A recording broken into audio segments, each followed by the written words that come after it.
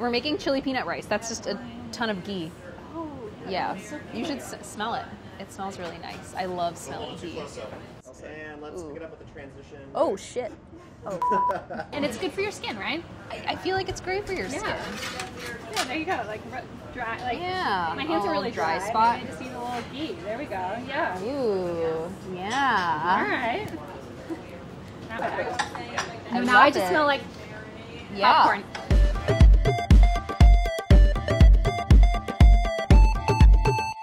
Today we were making chili peanut rice, um, which is basically, you know, is a dish born of leftovers. It reminds me a lot of fried rice in Chinese cuisine, which is basically taking advantage of leftover rice that you've got in the fridge, plus whatever vegetables and produce and spices, and just mixing it all together and frying it in a pan. We're basically doing the same thing, just with basmati rice and with Indian ingredients. I also love that this dish has two layers of ghee, so it's like as if like a quarter cup of ghee wasn't enough.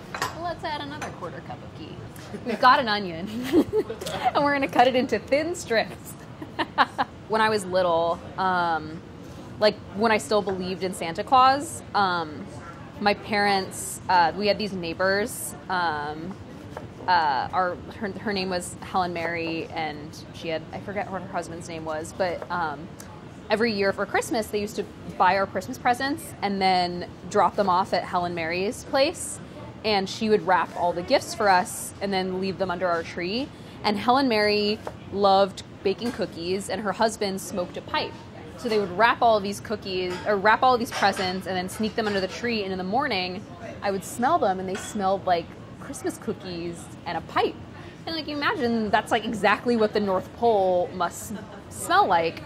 And so I believed in Santa Claus for so much longer because of just that very distinct smell. And my sister like definitely did not smell like she did not smell the gifts, but like I could smell that smell of cookies and a pipe from a mile away and I was just like my parents don't make cookies. They don't smoke a pipe. Like there is no other explanation other than Santa exists. So these are good. Um, and then we're gonna cut our chili. There's very minimal chopping in this recipe. Uh, so the other thing we're slicing is two serranos. Um, either this or those long, slender Thai chilies you get from stores work perfectly. Um, so what my mom loves to do is just slit them, even with the stem on and everything. This um, will prevent them from popping and getting seeds in your eyes in the pan, and it just looks really pretty having this beautiful fanned out chili in the rice, and it adds just the right amount of heat without kind of overwhelming you. And you can use again, you can use one chili, you can use no chilies, but like like we we can have chilies. Let's let's have more green chilies in our lives, guys. All right, so step 1 of sort of building our wonderful chili peanut rice flavor is going to be adding lime and salt to the rice. So a quick note on the rice, we've got long grain basmati rice and it's a day old. I like long grain basmati rice because it's got body, it's got texture, it's got a nice chew to it. This is the rice that sort of belongs with Indian flavors. And I like the day old rice because it gets a little bit crispier, it's a little drier. Um, we'll have sort of like clumps that, you know, get, uh, it sort of absorbs flavor a little bit better. I mean, all the reasons why fried rice tastes good with leftover rice, like this is why you use leftover rice for chili peanut rice. Now we're going to lime up our rice. So this is like, think of this as like layer one of flavor.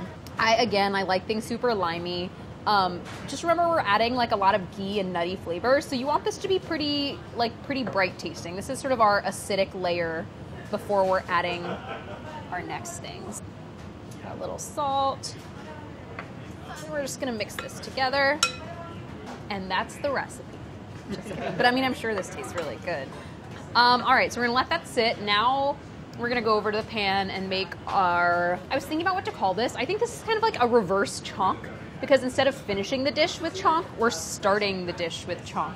So we're gonna make a mustard seed, curry leaf, and peanut chonk, throw it in, cook our onions, chilies, throw them in, and then we'll be done. But let's not get ahead of ourselves. So on medium heat, we're gonna melt some ghee. This is a quarter cup. Um, ooh, I just love the way that ghee looks. I love the way it smells. Ghee is great. All right. Mm. So the reason that we're doing the chonk like or doing this chunk first and not finishing it is because we don't really we don't need it to just be like a topper. We want this to be fully mixed in and incorporated with the rice. This is sort of the main flavoring.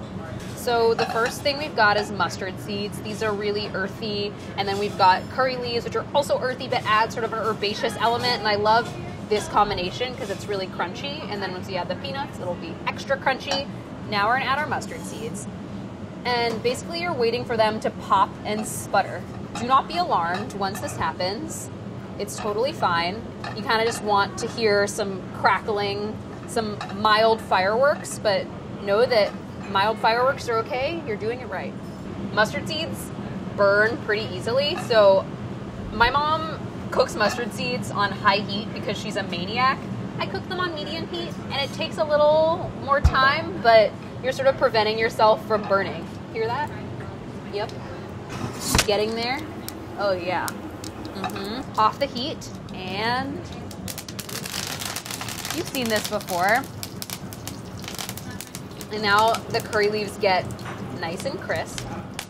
So see how these, I'm not gonna eat one, but like see how these have gotten almost like potato chip like? That's exactly what you're looking for. I'm gonna take one out to show the camera, but then I will put it back in. But uh, ooh, here's what you're looking for. See? Got a nice little crispity, crunchy piece. So now we're gonna put it back on the heat, on medium low. Um, all right, and we're gonna throw in our peanuts. Um, you just want unsalted, shelled peanuts. Do not get salted ones. And we're just gonna cook these for a few minutes until the peanuts start emitting a fragrance and getting a little brown. What makes this dish so beautiful is you're maintaining like the full leaves and the integrity of the curry leaves. So be careful. Mmm, they're starting to smell peanutty. Ooh.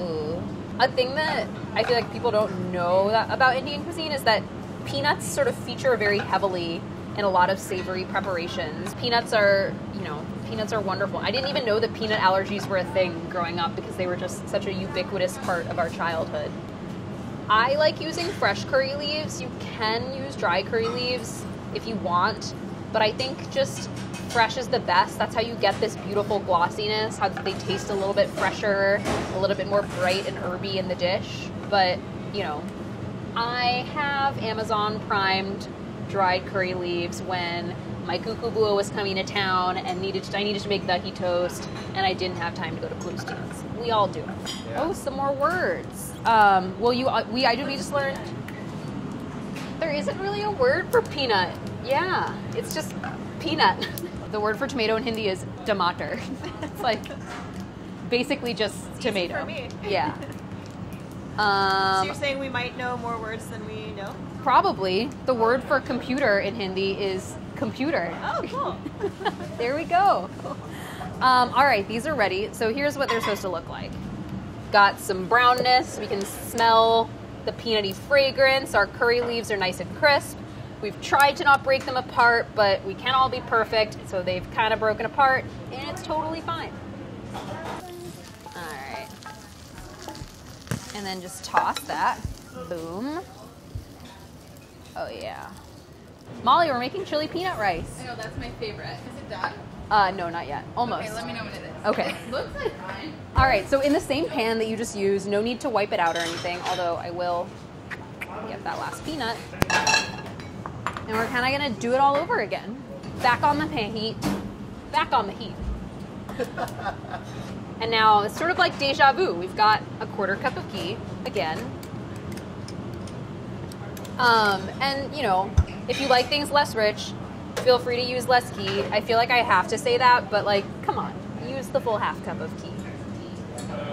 Like, especially because this is party food. So my mom, like, when my mom's cooking for a party, she's just like always want to adding a little, just a little more ghee. It kind of is like a fail safe. Like, it sort of ensures that the food will taste good, you know? Then we're gonna add our onions. I did a pretty good job thinly slicing these strips. Look, mom. Uh, and then we're gonna add our slit chili, which, as you'll notice, like because we slit it, it's not gonna pop. You're not gonna get seeds in the face. Um, and we're just gonna cook these until they're translucent. Have you all ever? Are you all able to do this thing? Uh, we just did a Rick video where he did two at a time to show off. What? See, that is not. Here. Hey, Rhoda, do you know how to do the flippy thing in the pan? When you can, like, when you flip it? Can I do it? Can you show me how? Oh, sure. It's actually nice to practice with like dry cereal or something like that. Oh my god! it's kind of you kind of have to like So you like kind of, jolt it. You're like pushing it to the back rim, and then it kind of flips back onto itself. okay. 'Cause you, what you're trying to do is get it to like flip over. You know. Oh my god. Now I'm just, my hand has gotten really clammy. You can also put a towel around it if you want. Let's try. Alright. And Rick did this two at a time? He wasn't happy about it. I did. okay, I feel good about those two flips. Tommy's back. Are you gonna rewrite the clicker? Why should I rewrite the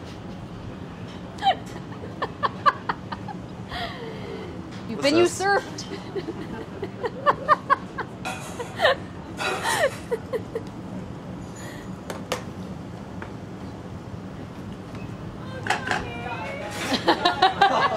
All right. Um, and then while they're still hot, just pour them on in, ghee and all. Oh boy. We don't even need to abide by formalities.